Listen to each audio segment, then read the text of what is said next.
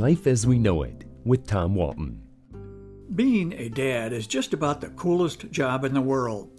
They tell me that being a mom is pretty sweet as well, and though I've only observed motherhood as a bystander, I'm sure that's true.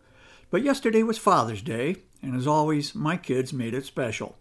Let me say first, as an aside here, I'm thinking about taking up yoga. Hey, it beats just sitting around. Yeah, that was a bad dad joke. A groaner, my son would say. It's what we dads do. I've got a lot more of them, but let's move on. I've been a dad for decades, and although I continue to get old, fatherhood never does. I am blessed with two wonderful children who lead blissfully hectic lives with families of their own. When your kids become loving parents themselves, not just providers, but a mom or a dad, it's a source of lasting pride for a grandfather. Yesterday was my 53rd Father's Day as a dad, and as they always do, my daughter and my son called to remind me of their love, as if I needed reminding. I also talked to my grandchildren.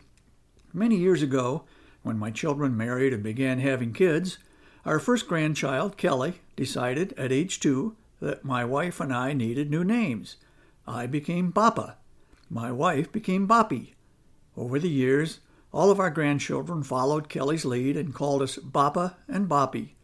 Not once have I been called Grandpa or Gramps, and although those are perfectly wonderful titles, I love the one I've got. Being a dad requires cultivating the ability to say no, sometimes firmly, but always with love. I recall the great line by the late Tim Russert The older I get, the smarter my father seems to get. Saying no, by the way, is a talent that evaporates when a dad becomes a grandfather. Go ask your mom was a stock answer when my kids wanted something, but now that I'm dealing with grandchildren, I say yes a lot. I've spoiled them, and they have spoiled me. As my daughter and son move closer to the day they become grandparents themselves, I cling to the memories that I tape recorded in my brain so many years ago. Like the night my daughter was born. She was a couple of weeks late, and my wife's labor was extremely difficult. But we both rejoiced when we finally had our baby.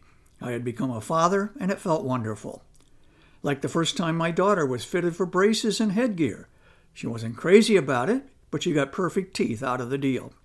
Like the day my daughter ran the anchor leg for her high school track team in California and had to buck strong headwinds off the ocean, but still overtook her competitors like the time my son cradled his new niece Kelly in his arms for the first time and lovingly announced, I got to get me one of these. He ended up getting four of those. He dotes on them all because he is their father and their protector. As a dad, Justin's a natural. If you are a father, I hope you too got phone calls yesterday.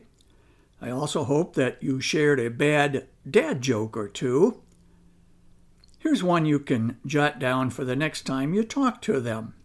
I ate a kid's meal at Burger King today. It really upset his mother. Yeah, I can hear your groans already.